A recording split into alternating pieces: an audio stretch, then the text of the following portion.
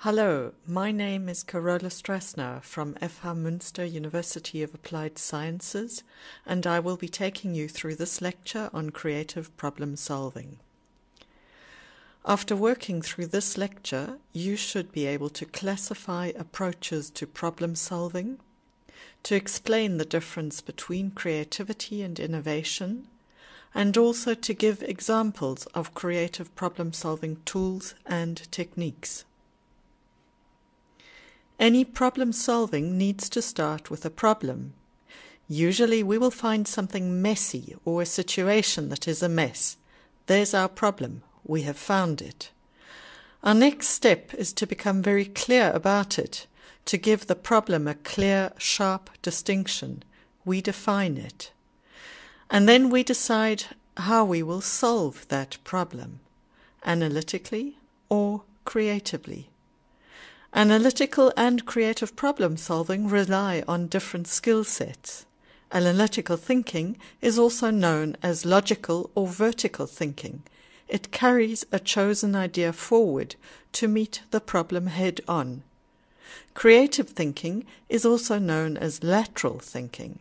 It provokes fresh ideas or changes the frame of reference, so it is said to go round the problem.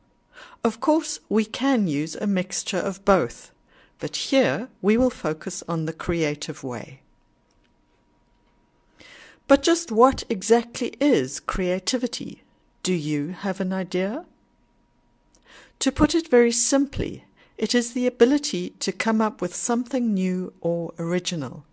It is linked to the word creation, to bring into being, in this case, an idea or a concept. Creativity is an ability. Anyone can be creative. It is a skill that can be learned and practiced. So, what then is innovation? Innovation is the use of a new idea or concept or method. It is usually assumed to mean the successful uptake of a new idea. It carries with it a sense of change from the idea or method used before that change may be small or large, incremental or iterative, or a breakthrough innovation. Can you see what the difference is between creativity and innovation? Innovation has the additional element of adoption and implementation. We could say creativity plus implementation equals innovation. Creative problem solving is a process that has a number of steps. After the problem is clear, we generate ideas by various means. We find a solution and accept that solution. The creative problem solving process can be done by individual or it can be done as a group. Both are possible.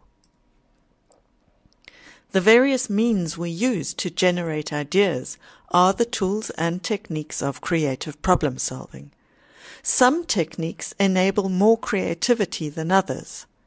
Elspeth McFadzean, a scientist working on creativity, developed a creativity continuum which ranges from techniques that are paradigm preserving to paradigm stretching and to paradigm breaking.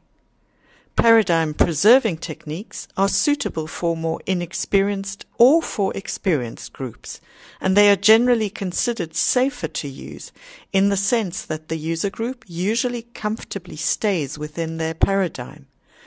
Idea generation is stimulated by information related to the problem definition. One well-known technique is brainstorming, but there are many more techniques available. Paradigm stretching techniques are suitable for more experienced groups and for inexperienced group when there is a skilled facilitator on hand. Such techniques may force or certainly try to encourage participants to take on a new perspective, which may or may not be uncomfortable. Paradigm breaking techniques are suitable for experienced groups, and they usually require a high level of trust, either within the group or else built up through a process agreement by a skilled facilitator. Participants are often inspired by the unknown. They use intuition, inspiration, and imagination for idea generation.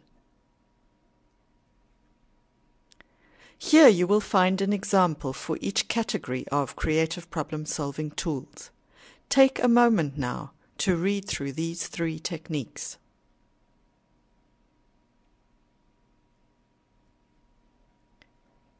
Edward de Bono is one of the pioneers in the field of creative thinking and think, teaching thinking as a skill.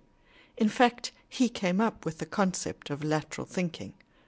One of the techniques he developed is known as the six thinking hats method. It works as follows. There are six different imaginary hats that you can put on or take off. Each has its own color, and this represents a different type of thinking. The underlying principle is to wear one hat at a time and think one type of thinking at that time. If you change your hat, you change your thinking.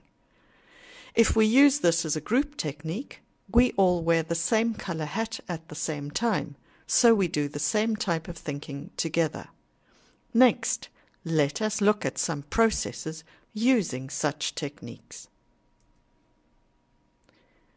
In the 1960s, scientists worked on identifying what was happening between people in a group involved in successful innovations. They used observational analysis on extensive video and audio recordings of real innovation practice. Their findings laid the basics for the concept of synectics. It is a concept or an approach to invention that comprises three elements. First, creative thinking, with techniques to generate new ideas. Second, creative action by implementation of new ideas with experiment and innovation. And thirdly, creative behavior.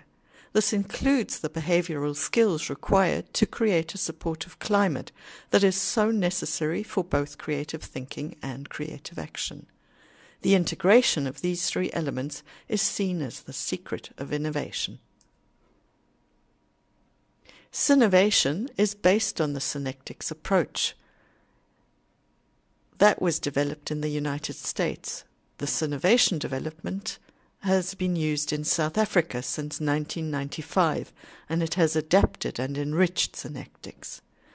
Synovation and synectics, too, work with so called ground rules. These are guidelines designed to reinforce positive behaviors and to avoid the barriers to creativity. Positive behaviors underline collaboration, respect, and mutual support. They promote confidence and encourage participation. In contrast, negative behaviors reduce the chances of success and should be avoided. Design thinkings has its origins in design methodology.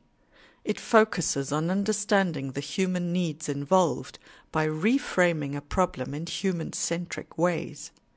There are many variants of the design thinking process in use today, and they may have a different number of stages, ranging anywhere from three to seven. Here we show the five stage model proposed by the Hasso-Plattner Institute of Design at Stanford University. The five stages of design thinking, according to the D School as it is also known, are at the top of this slide. Empathize, define the problem, ideate, prototype, and test.